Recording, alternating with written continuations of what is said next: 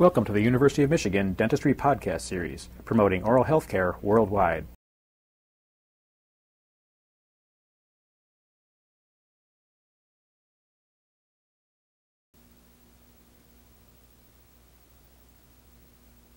Our purpose in meeting with you this afternoon is to introduce the dental operatory and its components uh, to you. And as you see on camera, we have a typical senior cubicle consisting of cabinetry, a drug compartment, x-ray view box, and various other components. Uh, the major uh, items relating to the treatment of patients uh, consist of the uh, dental unit at this point, the dental chair with the operating light attached to the chair base uh, and the operating stool used by the dentist uh, as a, a, convenient mechanism to carry out his procedures relative to the patient's uh, needs. Close-up that we see here as the front of the unit, the instrument enclosure door or panel uh, is in the lock position. There's a key lock on the left side as you face the unit to lock this panel, which is a security uh, measure. Unlock, the panel then can be dropped into the all the way down position and, and engaging the master switch, which now activates all of the components of the dental unit. Uh, closing that panel cuts off the master switch, and of course locking it secures the unit which is a responsibility of each uh, individual student. So we'll put the panel into the open position and engage the T-handle on the instrument carriage and bring the entire instrument panel into the out position. There's a switch which engaged will allow you to recess that or put it in the in position and at the end of an operating sequence uh, this would be the uh, routine procedure. We'll have it in the out position and at this time uh, we will identify all of the uh, components and to some degree their functions uh, within the dental unit. The uh, panel itself consists of, a, of an air gauge, which is an indication of the pressure in the high-speed or high-pressure air lines, and we will identify the other uh, items on the panel as we talk about each individual system. There are seven modules in the dental unit, and each or any of these can be put in any kind of order that the practitioner or the individual would prefer. This uh, advantage of modularity might mean that the high volume evac could be on this end or in the middle or in a uh, position which may be considered to be more favorable for a specific individual purpose. Each is on a drum uh, in the inside or back side of the unit, uh, which uh, in the out position allows us, of course, to activate to this particular unit. The close-up on the screen at the moment is the high volume evacuation handle. Uh, the lever that you see running at 90 degrees to the flow of air represents the lever in which the system can be activated or deactivated. It is actually a small metal cylinder with a hole which when in complete alignment with the system allows the maximum of suction to be uh, carried out. This suction system pulls approximately seven and a half inches of mercury and is at the maximum and is a very uh, active uh, system for removal of debris or excessive amounts of saliva uh, from the oral cavity. The tips which are traditionally used are either the disposable plastic type tip, which has a perforation on the end to reduce the tendency to uh, uh, suck the tongue or the floor of the mouth very positively. This is a, a very excellent convenience item. Or, and these are disposable entities, or the autoclavable tip with the beveled end, with the beveled end, which again protects the patient from sharp uh, edges uh, in the recovery uh, of saliva or debris from the oral cavity. This system is recoverable or can be placed back in the unit uh, as you uh, see there. The next item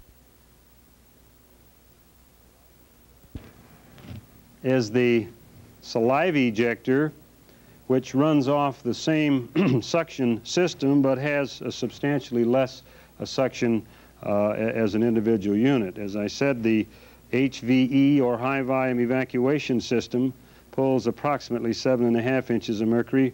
Uh, this uh, will pull about three, perhaps three and a half inches of uh, mercury as a suction entity. The saliva ejector is operated by the little knurled nut on the lateral side and the white line that you see here uh, when it is parallel to or in the line of the airstream uh, is the maximum suction attainable. Now, as we want to reduce suction, uh, we turn this to the diagonal or to the point where we're now at 90 degrees to the flow of air, at which time the uh, suction is completely uh, eliminated. Uh, when we're working under a rubber dam or under a situation where we want a modest amount of suction, uh, then we would set the instrument at a position approximating this. If we need a lot of activity, a lot of suction from this local system, then obviously uh, we can increase it up to the maximum. Uh, we should use this in the all-out position with caution, as when it is in the mouth protractedly, it will tend to suck the floor of the mouth or the soft tissue into the instrument and can cause a fair amount of untoward damage in the form of hematoma or irritated tissue.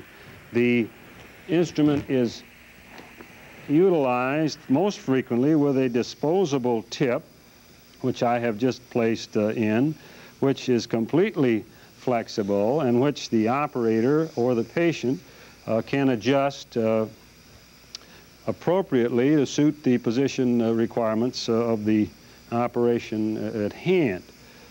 These are, of course, not autoclavable and are disposed of after each operation. There's a small, soft wire insert inside the tube, the plastic tube, which allows this bend and flexibility to take place and is a very convenient item, particularly when the operator is operating without a dental assistant. Uh, this piece of equipment is very valuable because the patient himself or herself uh, can frequently help the dental operator control excessive amounts of uh, saliva or air-water coolant, which uh, inevitably collects uh, in the mouth. Turning this off and removing the tip, again, to retract the hose,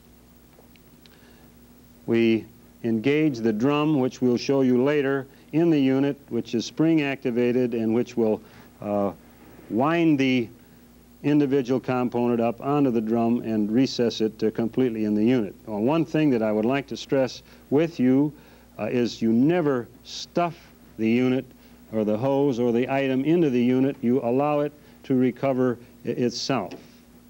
Please recall this as you're working uh, in the clinic. The next item is the three-way syringe. The three-way would be air, water, and air water, or a combination of the two.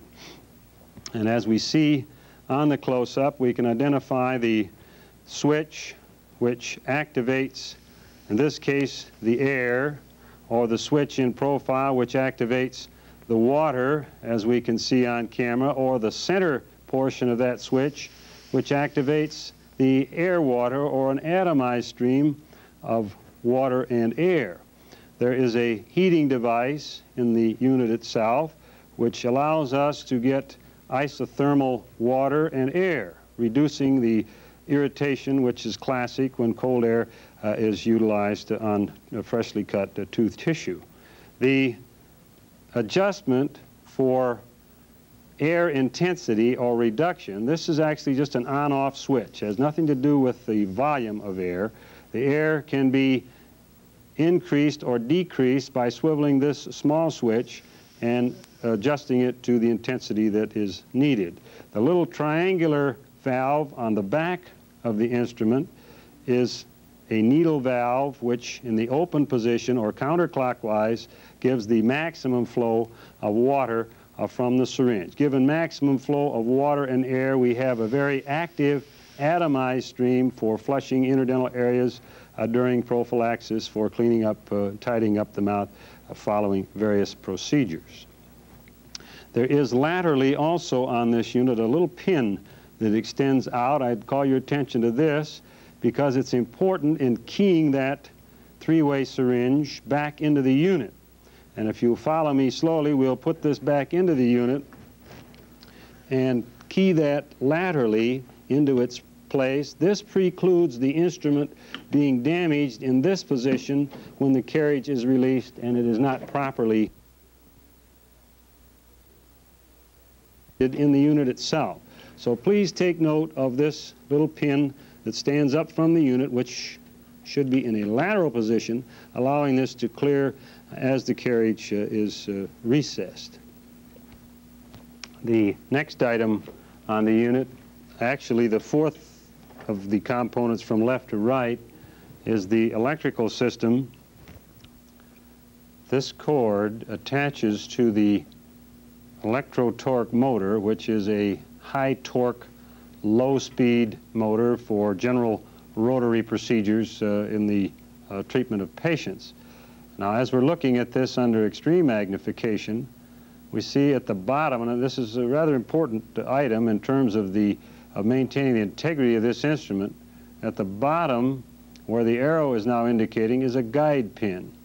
And there's a recess on the motor which this engages to be sure that the threading and the electrical linkage, which are the next two uh, recesses, are in the center of the camera. Uh, again, two rather delicate recesses, and the projections on the motor side uh, engage these two uh, to complete the electrical linkage.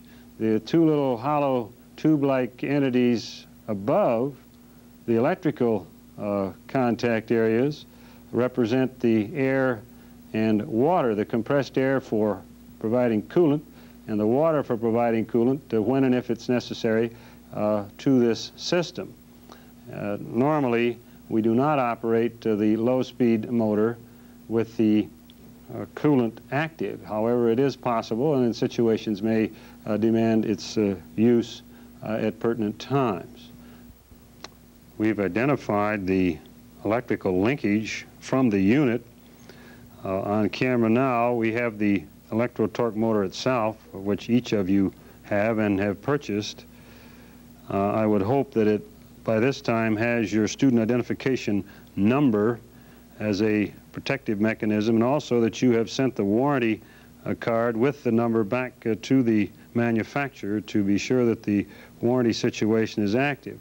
Now, the unit, excuse me, the motor has the same more or less triangular shaped recesses that we saw on the cord and to engage the motor to the cord, which we will attempt to do uh, now, uh, the first step uh, in that sequence would be to engage the guide pin, which projects quite far out from the cord, into the recess, the single recess on the motor, and this lines up the electrical linkage, at which time uh, we can turn the knurled uh, uh, nut to firmly set the linkage in final place. At this time, then, we have air and water and electricity in the cord with a strain relief mechanism to reduce the tendency to uh, strip or damage the wiring uh, in the routine uh, use uh, of this uh, instrument. While we are on camera with this uh, handpiece or with this motor, I will take the ultracentric handpiece, uh, which is also an item each of you have uh, purchased and have available, and engage the handpiece uh, onto the motor. This is done by slipping it all the way to place and then rotating it until the little spring-activated pin uh, is engaged in one of four holes on the circumference of the handpiece itself. Now, it is very important that that pin be engaged so that during procedures the handpiece, uh, for some untoward reason, does not uh, become disengaged. To remove the handpiece is to press the handpiece toward the motor, disengaging the pin, rotating about a quarter of a turn or less, and then removing the handpiece uh, component from the motor itself. We can quickly do that by going to place, rotating, and engaging uh, the pin. It is also wise to note that the blank left in the handpiece should be in it at all times when the instrument is not being used. This protects a very concentric chuck or collet which is utilized to grip the burr or the rotating instrument uh, during active procedures.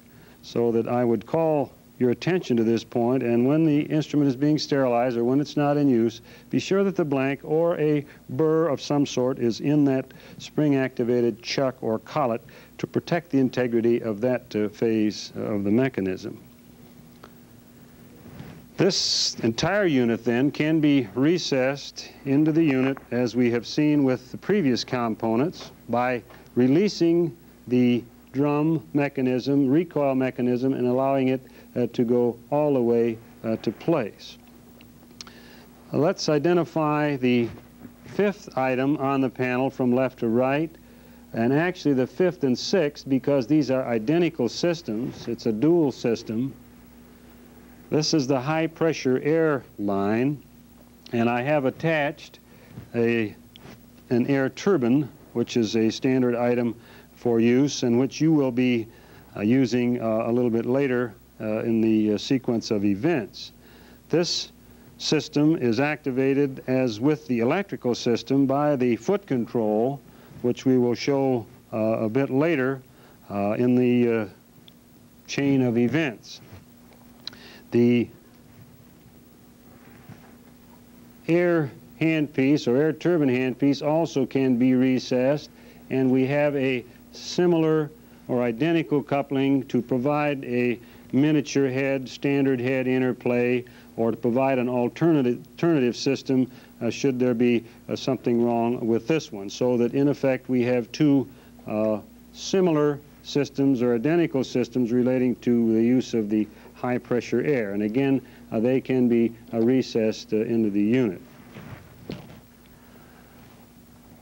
The foot control unit, which is at the base of the dental unit and attached to it by a three-quarter inch gray electrical conduit. The foot control activates the rotary components of the dental unit and looking in the picture, let's identify the uh, parts of the foot control. In the middle, pointing here, is the selector switch, which permits us to activate the electrical low-speed system by pressing with our foot and or the two high-speed air systems uh, in the rotary package. In addition, we have a switch marked W, which allows us to have water coolant in the system when the system is active, or to eliminate water by simply depressing the switch and deactivating the system. In addition, marked A is a air or chip blower system, which is active on the air turbine uh, components. Pressing that allows the operator, particularly operating without an assistant, to clean the area uh, with uh, an air jet which uh, comes out of the coolant spray tip on the uh, high-speed air turbine handpiece. The ring at the base of the foot control activates the system uh, which is currently active at any given time.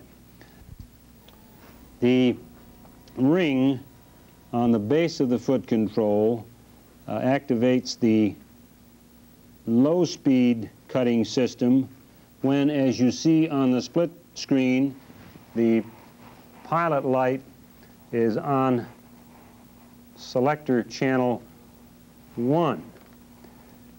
There are a couple of things to remember in utilizing the low speed. One, that the selector button should be on 1, and secondly, that the water system should be turned off. I will indicate that. The light should be off on the panel marked W. To get forward rotation for the low speed or the electric uh, motor system, it is necessary to turn the foot control in a counterclockwise direction. That is, forward or clockwise on the handpiece is achieved by a counterclockwise rotation on the foot control. The reverse, of course, is true. Counterclockwise on the handpiece is clockwise on the foot control.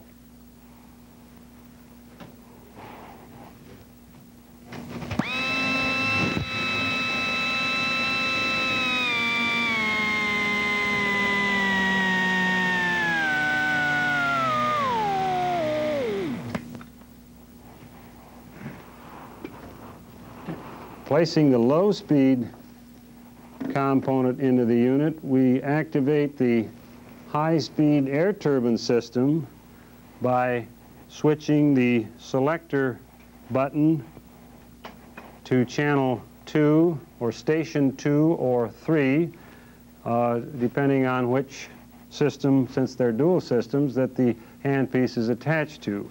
We may have a low-speed air handpiece or a miniature head handpiece in addition to a standard head on uh, either of the two systems simultaneously. As you see on the panel, the selector switch now has placed the, the cutting system 2 into activation and the water coolant necessary for turbine use uh, is activated and we can control the volume of water to that coolant by turning this dial in a counterclockwise direction to open or to increase water flow or clockwise to slow down or reduce flow. Remember that the on-off activation comes from the foot control and is indicated when the red pilot light is on in the W position. These are needle valves and are not to be used as on-off switches, but only as volume control. We have water coolant in all three of the cutting uh, channels. We rarely use it in the low speed. We use it routinely in either of the high-speed uh, channels.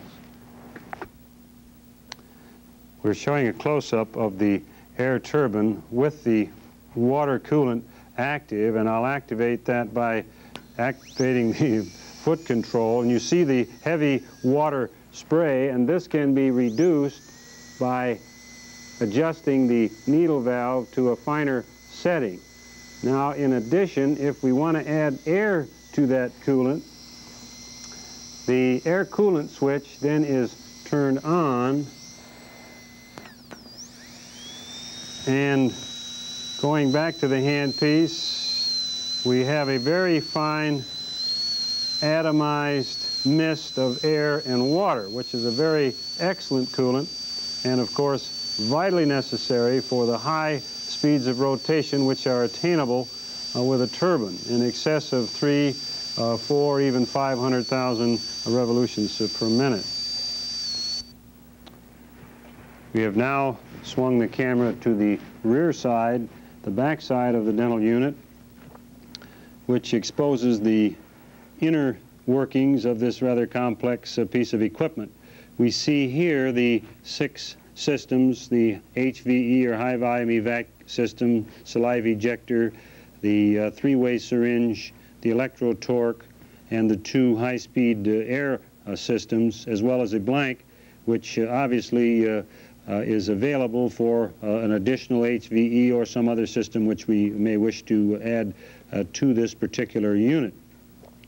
it is important also to realize that when we wish to retract a cord that is not available, that it is possible identifying the system to push this through and reach around to the panel in front uh, and pull the uh, cord out when it has uh, reached a point where we can't reach it from the front panel.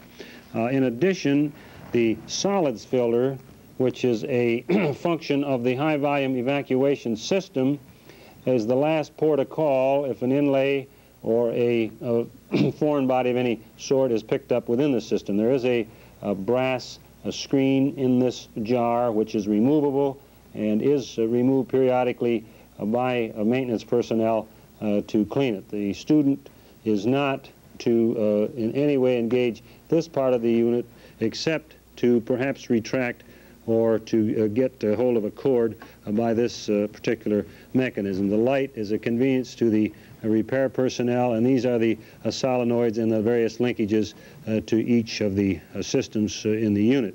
It is possible, when necessary, to remove by this individual set screw each or any of these components when they're necessary, when it is necessary for major repairs, and replace it with a a new unit. That is a possibility and is uh, one of the advantages of this uh, modular uh, concept.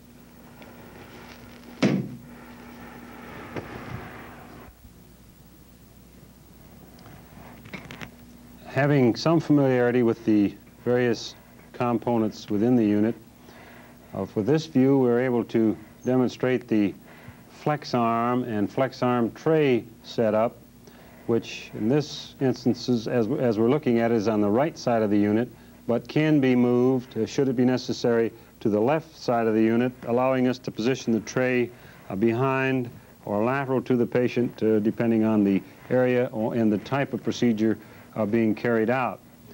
The flex arm in its working position uh, would be uh, something like this, and it's important to understand that we can raise the tray without any uh, lever release necessary, but to lower it, simply lift lightly and release the flex arm uh, release lever and put it down to the height uh, that is uh, ideal for uh, the circumstances uh, present. The tray swivels 360 degrees so that we can position our equipment in a more or less ideal uh, relationship. We, it is possible uh, to extend the three-way syringe, for instance, and leave it in the instrument holder thus. we would perhaps place the low-speed equipment in that position while we're using high speed, uh, retracting, changing to low speed. The instrument holders are extremely uh, convenient adjuncts, particularly uh, for the operator who is not uh, utilizing an assistant. In closing the unit and securing the unit, it would be necessary to remove the handpiece, retract the motor, remove the turbine, and retract the turbine hose, and retract the three-way syringe so that the pin uh, is properly keyed and it is properly recessed, releasing the carriage uh, lever, pushing the carriage into its inside position and closing the panel to the full up position and locking it with the key and the unit uh, is secure. You've been listening to a presentation from the University of Michigan School of Dentistry, which is dedicated to supporting open learning and open educational resources. This recording is licensed under the Creative Commons. It may be reused and redistributed for nonprofit use. Please attribute materials to the University of Michigan School of Dentistry and redistribute under this same license. For more information on how this and other University of Michigan School of Dentistry recordings may be used, visit www.dent.umich.edu/license.